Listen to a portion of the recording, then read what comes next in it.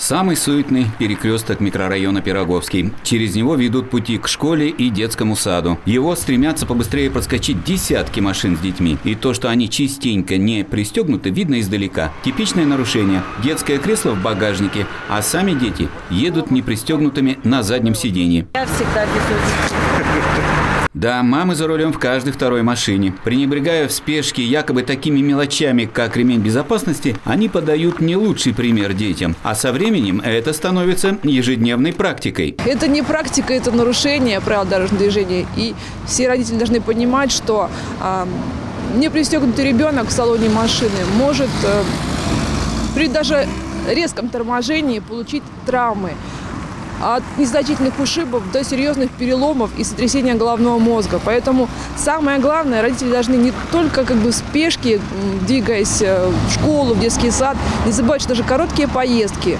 а, должны быть безопасными. Наверняка все мамы заботятся о своих детях, любят их побаловать чем-нибудь приятным, о чем напоминает этот плакат. Не стоит забывать и о соблюдении правил дорожного движения. Это только добавит уверенности и спокойствия за ваших детей. Перевозка детей в салоне автомобиля да, на заднем сидении.